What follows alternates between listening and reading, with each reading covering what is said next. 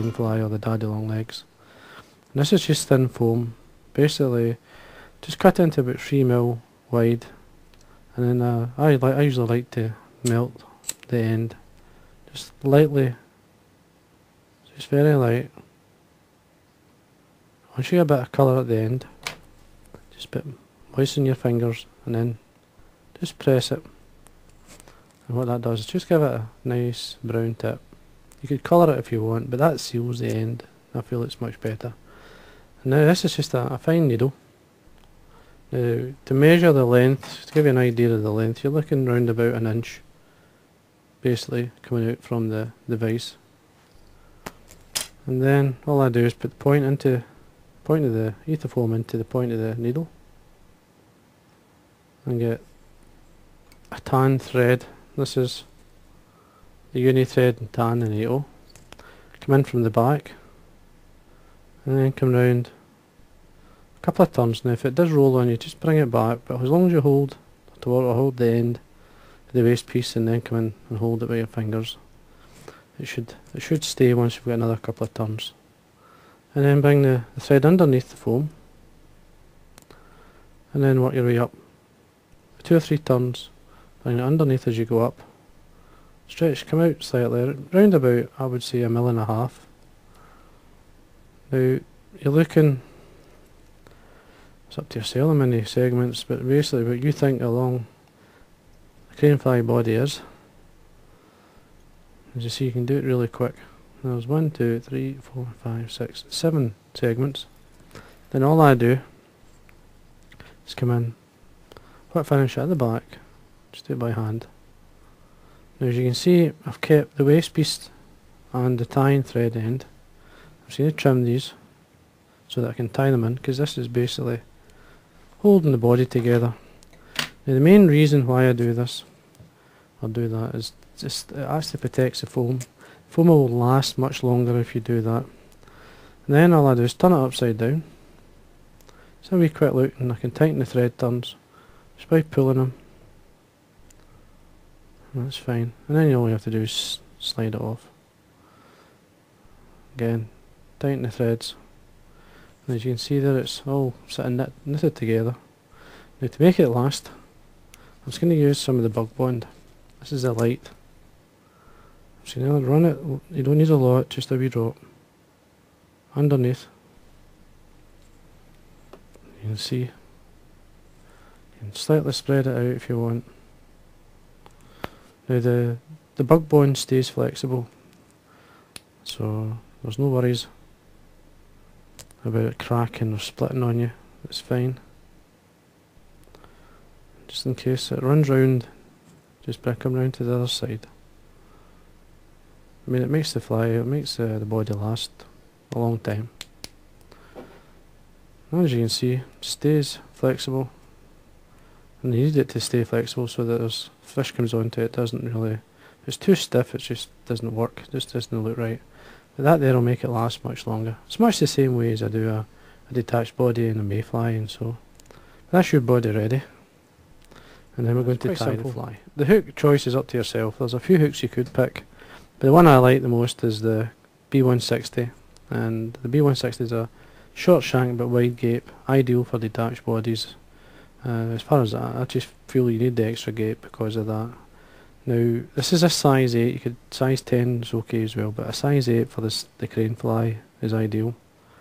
Again, I'm back to the tan thread. Now all I'm going to do is take the thread down until I'm in line with the point of the hook. And then break away the thread. Now, basically, you could, well I, I like to tie the legs on first, so I do. And these are the pheasant tail legs that I've got and these are all pre-knotted now if you look through the packets the Veniard packets you'll find there'll be a, a part of a tail that's really long and ideal for daddy long legs. And then there'll be a shorter one you may find that it's the bottom of the tail and they're much shorter. So just look for the one that suits you. Now I'm going to take six legs and put three either side split them so that they go down either side. One, two, three. I've got a broken leg there, so what I'm going to do is I'm going to go back in, take another couple.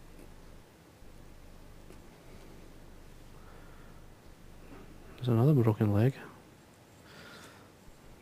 I go and get another one. Anyway, that's us now. So say we're going to put three down either side, just over the back. Don't be shy with the length of the leg. Just come in, get two or three turns. Now I've waxed the thread so I've got plenty of grip. Now they're just basically you can leave them like that a wee bit, or it's got the trailing legs which the fish like to see. Or what I'm going to do here is I'll get some squirrel dubbing and a tiny bit of flash put through it. Uh, basically you could diamond bright, something like that. And the one I like is brown. I've just mixed it through it. Now what I'm going to do here is dub it on. I'm just going to separate the legs. Just make a space, much like just to open them out. Put the dubbing in between.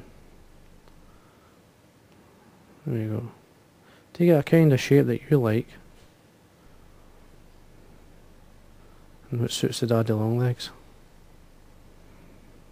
There we go. That's them um, better spread out. And then trim away the excess. Little bit more wax. Now I'm going to tie in our body. This is the body we formed earlier. Now where we tied off is where I'm going to tie it on. Just basically come in there and catch in the waste end and the tying thread. And then trim away the excess. Just come in nice and tight. Again, make sure you wax your thread. And make sure you tie this down nice and tight. Right up against the small bit of dubbing you've got there. And there we are. Then we're just going to, like now you would just form like a sedgehog pattern. Just a basic natural sedgehog. I'm just going to use some roe deer. Just a, this colour's nice, I like the colour of the roe. Um, just basically cut, take some out. And I stack it just to give you a nice uniform colour. You could leave it if you want, you just put it straight on. There's them stacked up and come in. Looking probably just to the back of the hook hold that trim away the excess and just come in and tie these down. Nice and tight. Some more of the dubbing. A tiny bit of flash in it.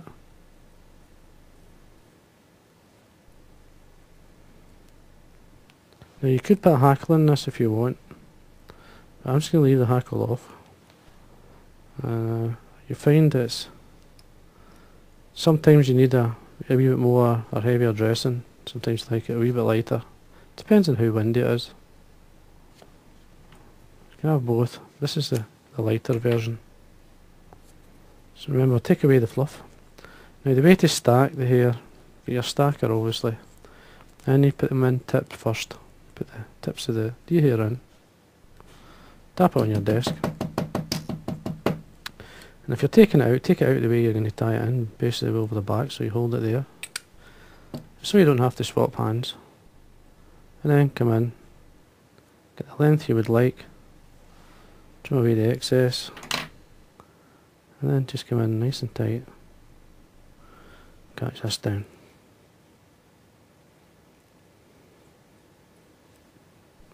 There we are. Now what I'm going to do here is I'm going to put in some wings. Now the wings I'm going to put in are just, this is a, just a, an Indian cock cape. This is like a cree if you would call it that, it's just a nice mark. Need two, two feathers. Obviously the same size, best to bring them out. Length, tiny bit the length just towards the end of the body. Just sit them on the top lie them down. We don't have to open out an area, just use the the fibres there to tie in.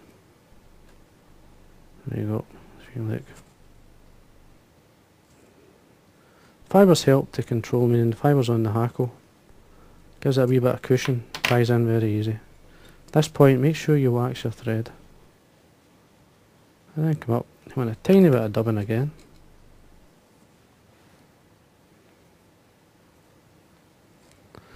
At this point I'm just going to come upside down, see how things are underneath.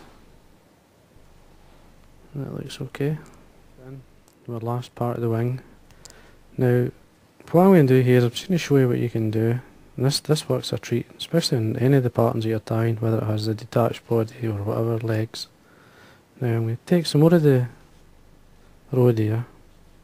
I'm going to basically take a good bunch, just take away from the, the skin, open out the fibres and remove the underfur. I'm going to stack it up.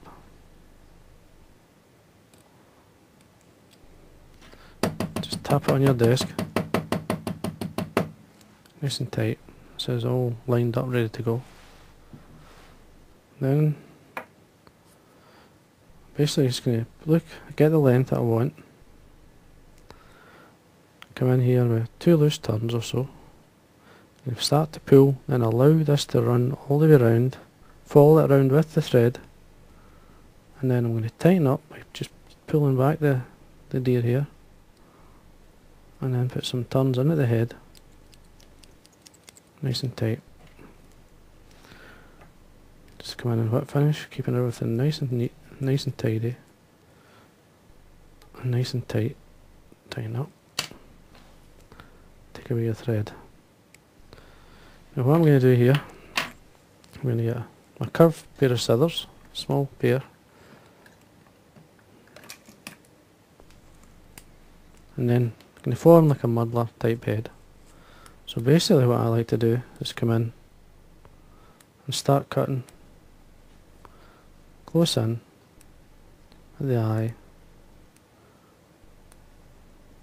and working my way around. Obviously helps if you've got style of ice. Just forming like a type of muddler head.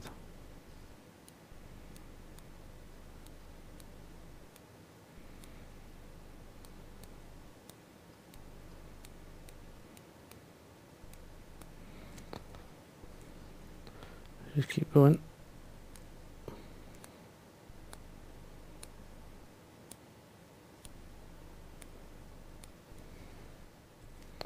Until you're happy. And I'm just going to trim underneath because I want this to be basically flat.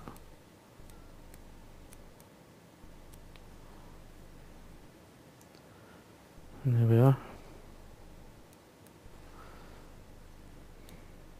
nice shape into the head.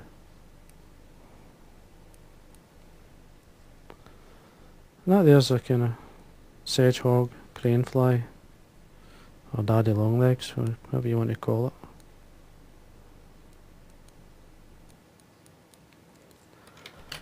and been with the detached body it looks uh, looks really good. Good for pulling. And that's what you want to do times with the the, the crane fly because the disturbance they get blown across the surface and the fish do react to them doing that when you're pulling them. Just basically put your floatant onto the deer hair area especially and this will lift the fly. Muddler head, can't go wrong with muddler head.